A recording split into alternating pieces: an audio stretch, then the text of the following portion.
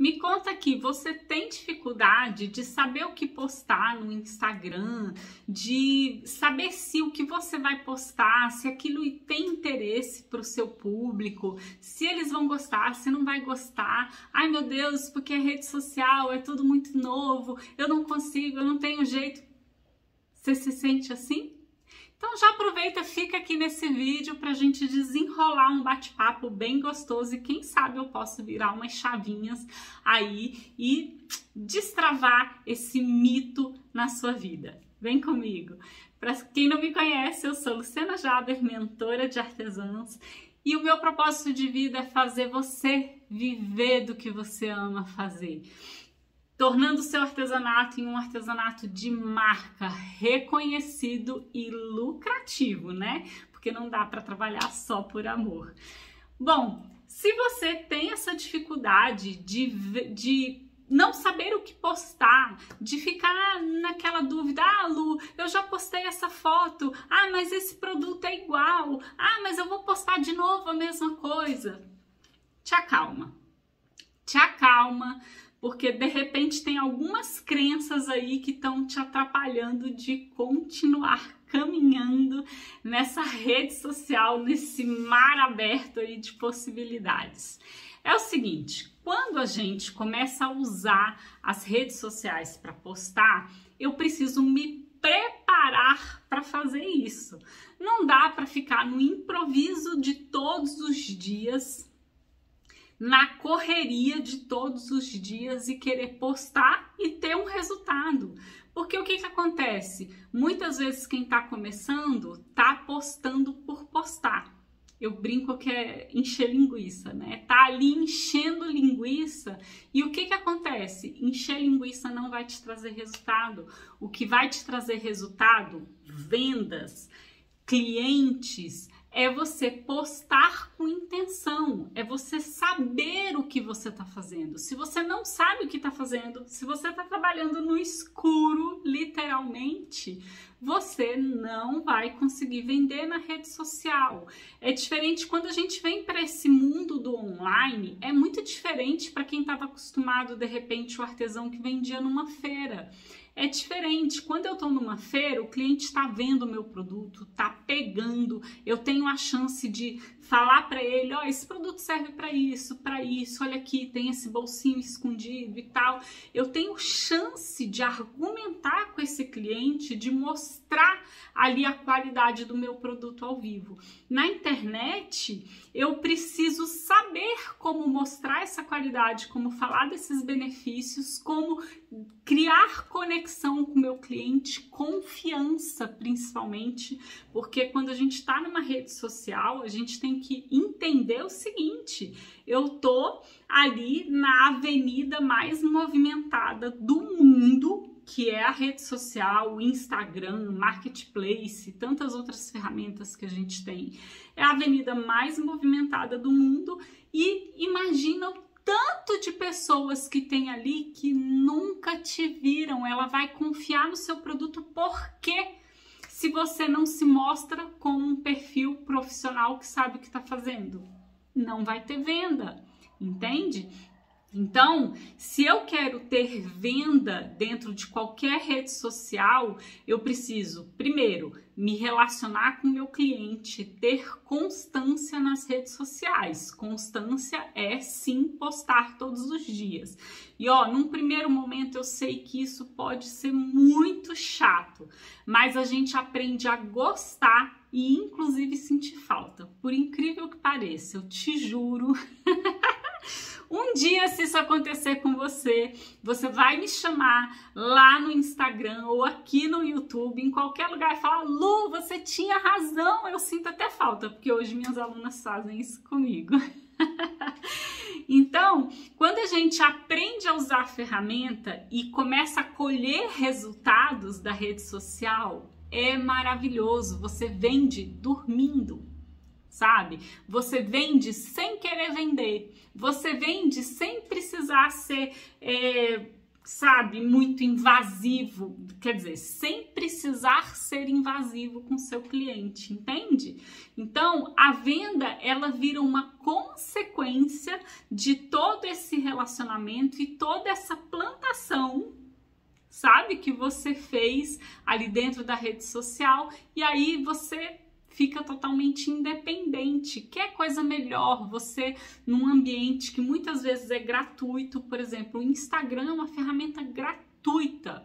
O WhatsApp é uma ferramenta que você pode vender também e que é gratuito você não paga nada.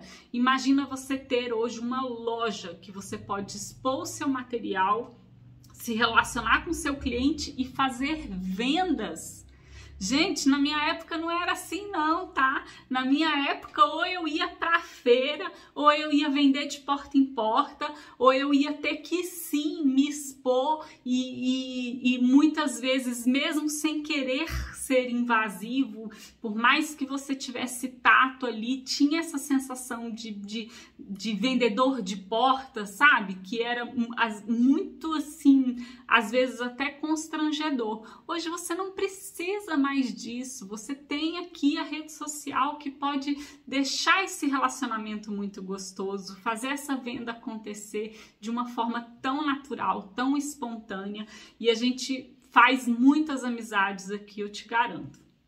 Tenho certeza que de repente você não, não me conhecia, começou a assistir meus vídeos, simpatizou comigo, de repente puxou um papo comigo num direct e aí de repente comprou um curso meu e viramos inclusive amigas. Eu tenho várias alunas que viraram amigas minhas nesse movimento assim, natural, espontâneo, gostoso.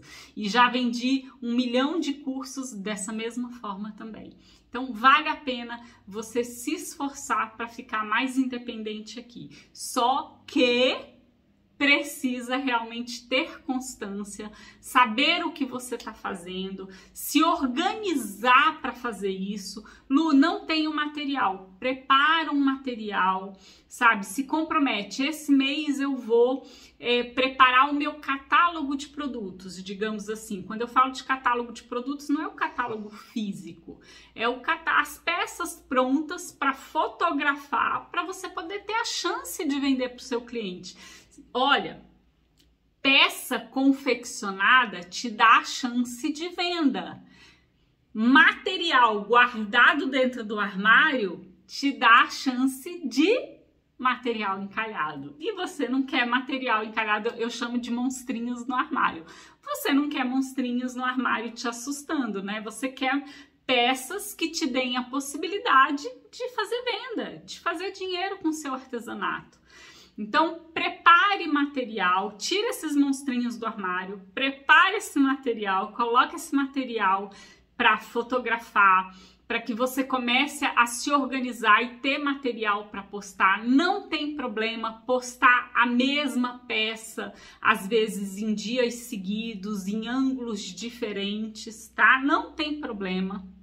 Tem perfis dentro do Instagram que só vendem capas de livro. O que, que ele vai postar? Capa de livro.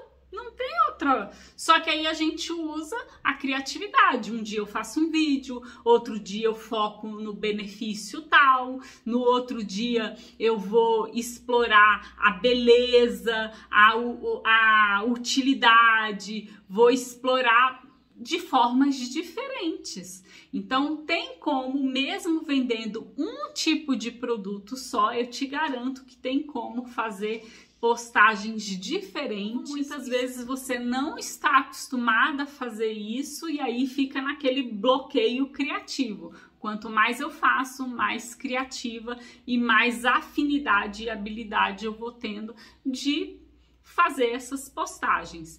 E de novo, o que não falta hoje é conteúdo na internet para te inspirar, tá? Então, prepare material, tire fotos, faça pequenos vídeos, mesmo que você ainda não apareça, mas mostre a utilidade daquele produto. Você pode fazer vídeo de montagem de fotos também, existem várias ferramentas para usar, inclusive no celular. Se você não sabe, já aproveita, faz um curso da Lujaber. Se você não sabe de nada, tá no escuro totalmente, investe num curso investe para você, para o seu crescimento. Eu digo que sempre que a gente quer ficar mais profissional, a gente vai precisar colocar a mão no bolso e investir em, em conhecimento para poder crescer. Todas as vezes que eu quis crescer, subir degraus diferentes no meu trabalho, eu precisei investir e muitas vezes precisei investir muito caro para poder ter resultados diferenciados também. Então, você nem precisa investir tão caro assim sabe? Como eu já investi para poder começar a realmente movimentar e ter ali um trabalho diferenciado. Lembra que o artesão comum que não sabe é, se postar, se comportar de forma profissional tá cheio. Se você já tiver esse diferencial de ter uma postura profissional, de tratar isso como um empreendimento, eu tenho certeza absoluta, porque eu vejo um milhão de casos desses com as minhas alunas hoje, que se você realmente tiver uma postura profissional e tratar isso como um empreendimento, eu tenho certeza que você vai ter sim um artesanato muito lucrativo, muito lucrativo, certeza absoluta. Então se prepare, tire fotos, é, comece a usar com constância, entenda, escolha, né? nem entenda, escolha com quem você quer falar, qual é o seu cliente, para quem você quer vender esse produto e quais são as soluções que você vai trazer para esse cliente que você quer. Então fica muito mais fácil trabalhar quando eu sei quem eu converso, com quem eu me comunico e o que eu quero trazer de solução para a vida dele. Já aproveita, já curte esse vídeo, já compartilha esse vídeo com alguma amiga aí que você fala assim: "Uau, que sacada legal que eu tive com esse vídeo aqui da Lu Javer". Comenta aqui e dá um joinha me estimula muito de querer trazer mais conteúdo, virar mais chaves aí para você e fazer parte desse sucesso junto com você. Já aproveita, me segue lá no Instagram para mais dicas. Espero que você tenha gostado. Até o próximo vídeo.